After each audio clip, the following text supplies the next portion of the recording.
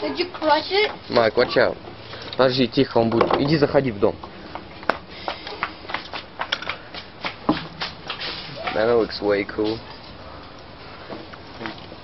Film me? Yeah. So here, we're getting the piano. Oh, those are the notes? Sharp. And these are the these are the black keys. Here are the white keys. Dang, it's all just like wood. It's just awesome. This is over a hundred year old piano. These Strings. Strings.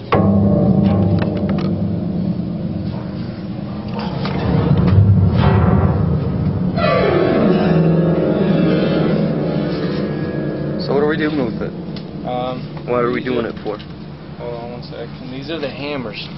And what happens is you press a key and it go up here, And that triggers the hammers. and then that triggers the hammers, which this hammer, in turn, hit a string. Got it. So what are we doing this for? Well, what we're gonna do is this piano is way too heavy to carry, and it's it's old. It's not ever gonna be refurbished. Um, it needs to be. We're gonna completely gut it out and take everything out of it, and then put in a, a keyboard in it and a bunch of my stuff for stage. So it's gonna look like an, an acoustic piano on stage. Is your cab gonna fit?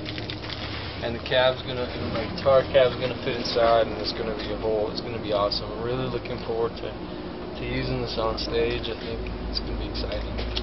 Looks way old. We also use this in our music video.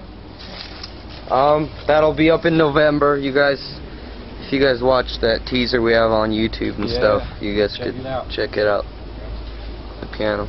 I'm really stoked about this piano. It's just awesome. The Poem of Honor Exposition. For what?